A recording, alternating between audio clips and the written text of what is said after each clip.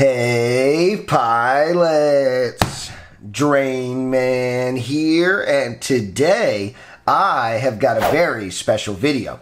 In today's video, we're going to be checking out the all new, brand new T-Motor F7 Pro full function flight controller. And it's full function, so it has Wi-Fi and Bluetooth too. Let's go.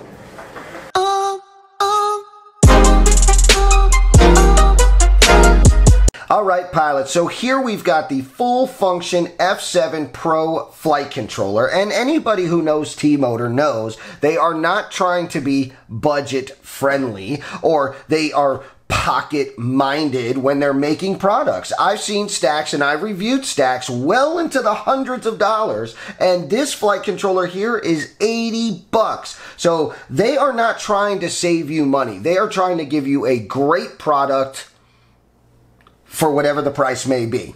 So let's go ahead and dive into this flight controller and see what are you getting on a full function F7 Pro flight controller that is $80. Let's go ahead and crack this puppy open. It's nice to see the manufacturers make a full function or a well-rounded product, a product that is going to be able to do it all, right? That way, if you're a DJI pilot, you're an analog pilot, you're a freestyle, you're a racer, you're a this, you're a that, you don't have to worry about what you're buying. This flight controller here literally does it all. So let's go ahead and see what we've got. We've got some instructions. They give you a couple little stickers, nothing fancy. You've got your, look at that. Okay, let's slide that aside.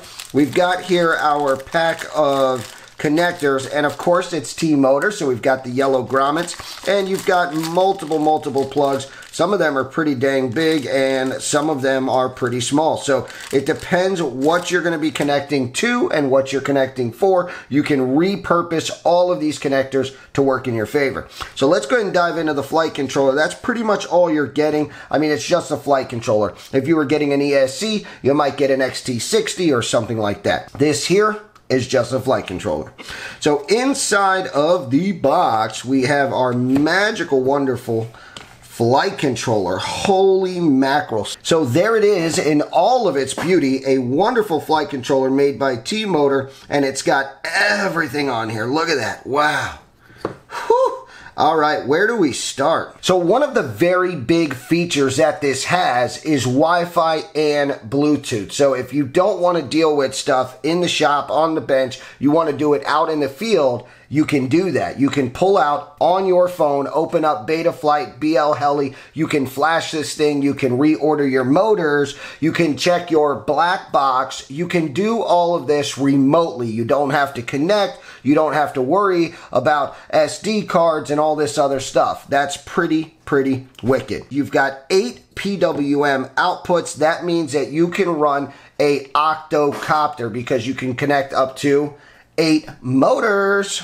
Over here on this side, we have a DJI specific plug. That's this guy right here. I'm liking this here. This is the USB-C connector. They are faster, they are sturdier, they are just all around better. So in your black box, you've got 16 megs of flash, which is very nice. Now, most guys are going, well, if it's DJI, maybe there's no OSD. Well, what about me? I still fly analog and I need OSD. They got you covered. There's an OSD chip on board, and that guy is right here. You've also got six UARTs. And the reason for that is because this is a F7 microcontroller, and they just have more UARTs. You've got more power, more processing power, more speed, and you've also got a ton of UARTs, which are great for guys like us who might be connecting GPSs and this and that and all kinds of stuff. So it's nice to have if you need it because it's right there on board. So you might be asking, Drain Man, why is this plug so big? And the reason why is because this guy can do eight motors.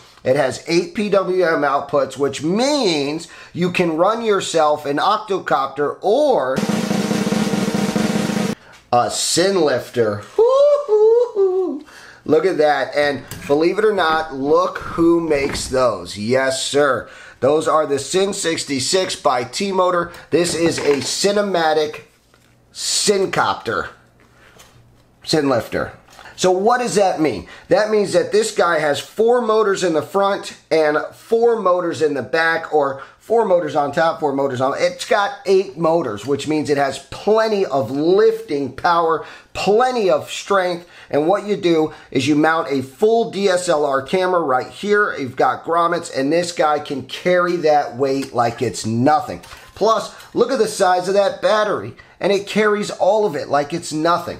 So if you're interested in building something awesome like this, you don't have to worry because this flight controller here has all the power to do it. And when you build this big, sophisticated drone and everything's hard to get to and all this stuff, you can Wi-Fi and Bluetooth, make all the adjustments that you need. This guy is nice. So that there is a ton of features. If you're interested more in the Wi-Fi and Bluetooth and these things, let me know. We can dive more into it. But right now, I want to jump into the scope and take a look and see what we got up close and personal. All right, pilots. So diving into our scope, what we see first is our STM32F7 chip. If you've never seen one up close and personal, this is what it looks like. And if you've ever got to replace one, you see this little circle right here? You'll match that circle to this little circle right here on the board. Usually the naked eye, you can see these things depending on how good your eyes are, but always nice to have a scope. So what we've got over here is we've got a couple LEDs. These are to let you know for communication. So it's probably going to be a red and blue LED that'll, you know, when you plug in, they light up, let you know that everything's working and talking.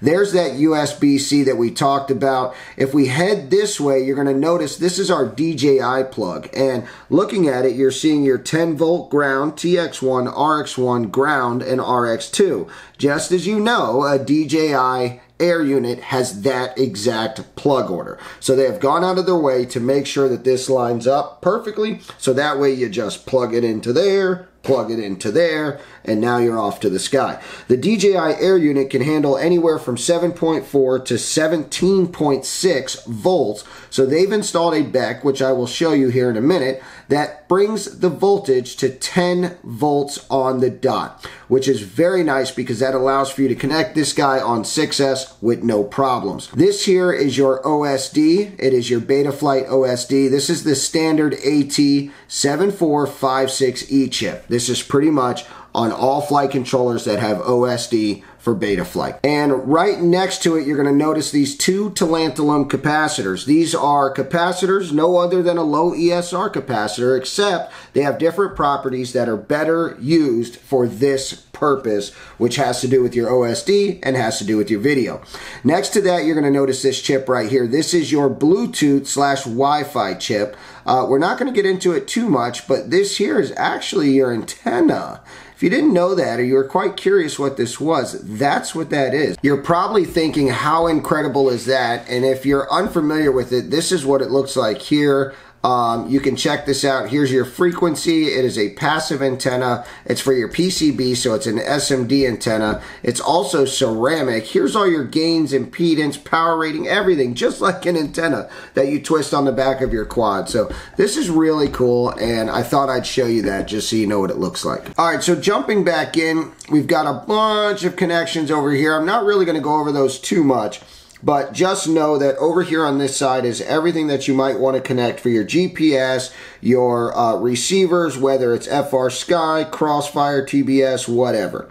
Now, moving along to this backside, you're going to see this guy right here. I know we all know what that is. That is an MPU 6000. That is your gyro. That is how this flight controller, this microcontroller knows where it is in space. And it's it's very cool and uh, there's a lot more to how it works, but that's what that is. Over here you've got your crystal. This is needed to power this. Uh, over here, we've got that long plug that we talked about. And there you go, 8, 7, 6, 5, 4, 3, 2, 1. Then you've got R4 current. You've got a ground. After your ground, you've got yourself another ground. And then you've got two battery connections. And the reason why you have double ground and double battery is so you can power two totally separate ESCs. And that's what you need to do if you're going to run something like a Cinelifter or maybe a octocopter. Okay? All right, so that's pretty much going to do it for this side of the board. Let's go ahead and flip this over Oh wow, Drain Man. I ripped off my plug, right? You rip this off and you don't know what to do? No worries. You've got all your pads lined up right down here in the bottom. Now, maybe you didn't rip it off, but you don't feel like pinning and de-pinning and all the things that come with using those plugs. I mean, that would be a pain in the neck to try to wire two ESCs into one plug. I mean, it can be done, but you're probably going to need some heat shrink and it will probably become annoying.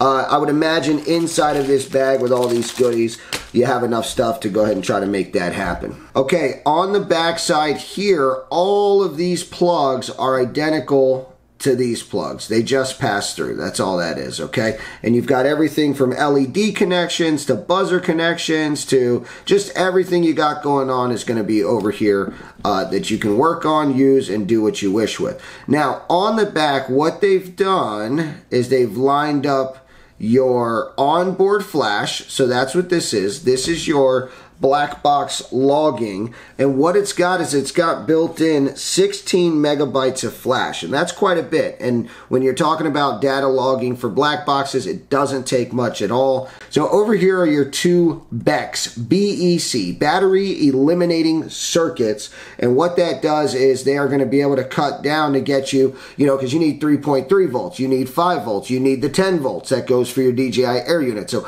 all of that is built in this circuitry right right here. So this is actually very, very important. Also keep in mind, each one of these BECs will have a limit of the amount of current that it can handle. And it does specify in the paperwork, it'll say like 10V slash 2A. That lets you know that you cannot go over that. So you need to measure the current that whatever you're putting is pulling and make sure that you don't exceed that. Now, if you are just wiring it as it's intended, for example, on the 10 volt, you're just plugging in the DJI Air unit, then you'll be fine.